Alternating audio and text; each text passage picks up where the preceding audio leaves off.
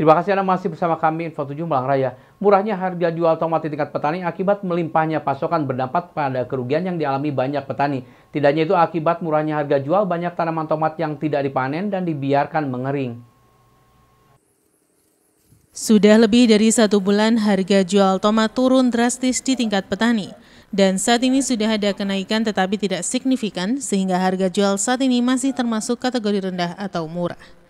Setelah sempat berada di harga Rp700 per kilogram, kini harga tomat merangkak naik dan berada di kisaran Rp1.400 per kilogram sejak beberapa hari yang lalu.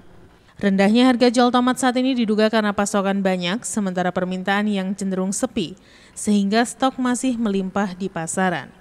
Dengan harga jual 1.400 ini, dipastikan modal yang dikeluarkan petani tidak bisa kembali dan petani mengalami kerugian. Masih rendahnya harga jual ini dikeluhkan banyak petani karena saat ini biaya untuk bertani juga terus meningkat, khususnya untuk obat-obatan dan juga pupuk, terlebih petani tomat sudah tidak berhak mendapatkan pupuk bersubsidi dan harus membeli pupuk non-subsidi dengan harga yang jauh lebih mahal dibandingkan pupuk bersubsidi. Menurut salah seorang petani di kawasan Sisir Batu menjelaskan, dengan harga jual tomat saat ini Rp1.400 per kilogram menjadi sangat berat untuk bisa mengembalikan modal menghindari kerugian yang semakin besar, tetap melakukan panen serta berharap harga tomat bisa ada kenaikan kembali. Di lokasi terlihat petani sedang melakukan panen tanaman tomat dan di beberapa lokasi lainnya tomat yang sudah siap panen masih belum dipanen karena upah tenaga untuk memanen tidak sebanding dengan harga jual sehingga banyak tanaman tomat dibiarkan mengering.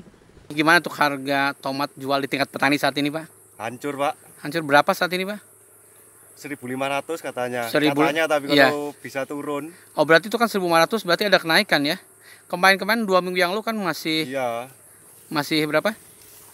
Satu peti masih 50.000. Masih masih tapi kalau per kilo masih di bawah eh, 1000 ya.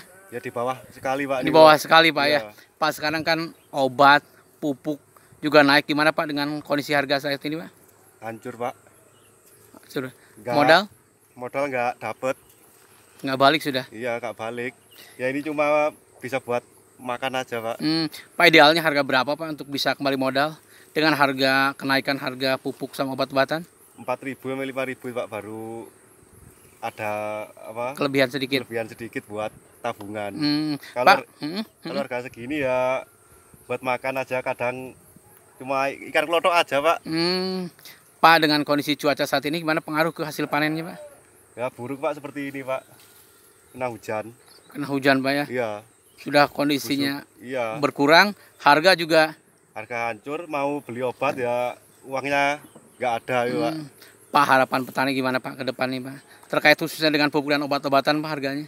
Ya obat-obat diturunin sama pupuk lah subsidi dilancarkan lagi. Oh, untuk uh, sayuran Pak ya, Iya. khususnya. Kalau kayak gini berat Pak ya? Ya berat sekali Pak. Berat sekali Iya. itu kalau tani. Iwan Nikmawan melaporkan.